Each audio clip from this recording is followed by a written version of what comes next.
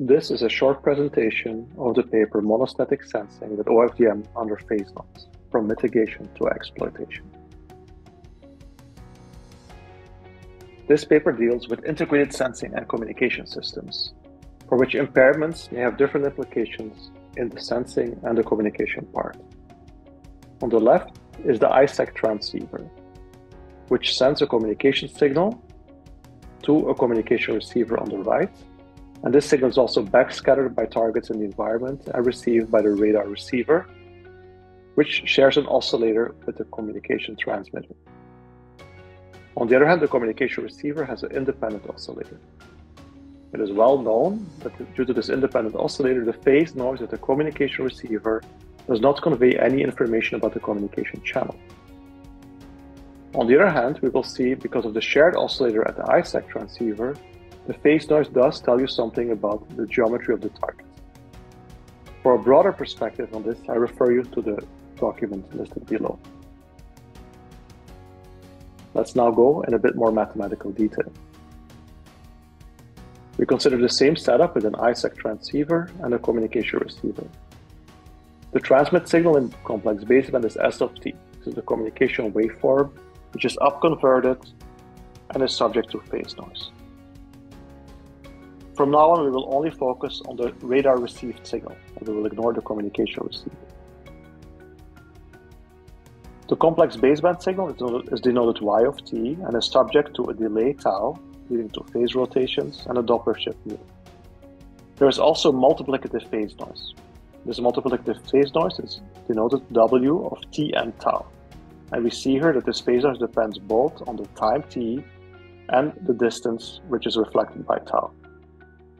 This then means that the phase noise will have delay-dependent statistics.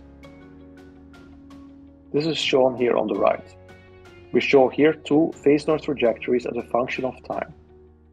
If a target is nearby, this means tau is very small. That means these two phase noises, phi of t minus tau and phi of t, will be very similar so the overall phase noise is very small. This is shown in red.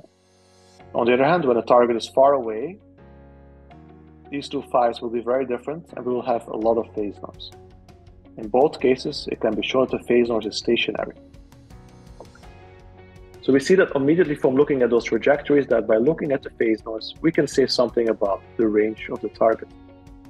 On the other hand, the communication, the phase noise is non-stationary and doesn't tell you anything about the communication channel. Now we can use this knowledge in two ways. First of all is mitigation of the phase noise.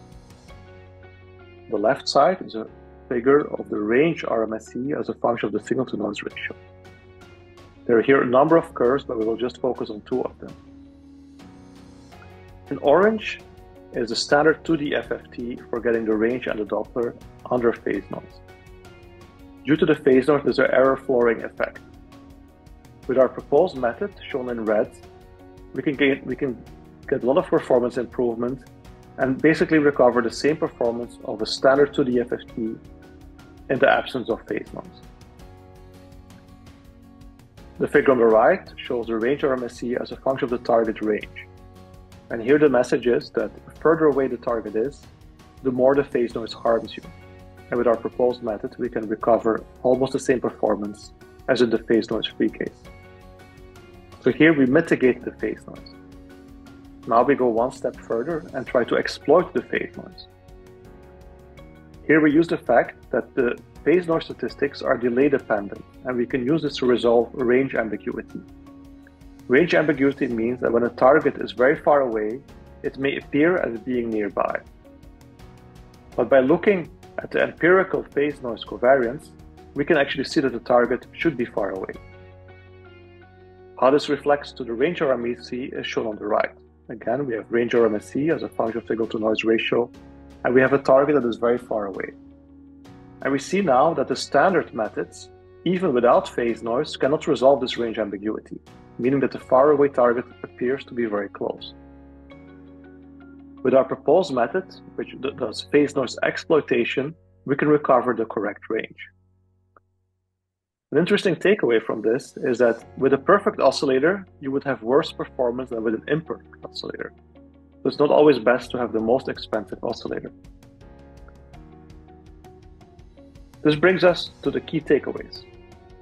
We propose a fundamental rethinking of phase noise, turning it from foe to friend. We recall that phase noise is always detrimental for communication, but can be turned into an advantage for sensing. Here focusing on monostatic sensing, which has a shared oscillator between the transmitter and the receiver. And in some sense, the inherent oscillator imperfections help the radar. One can interpret this in a variety of ways, but one way to think about it is that the statistics of the phase noise turn into signatures of the target and help us to identify where the targets are. And nature can help us to resolve ambiguities. And finally, it is sometimes better to have a cheaper oscillator than an expensive oscillator.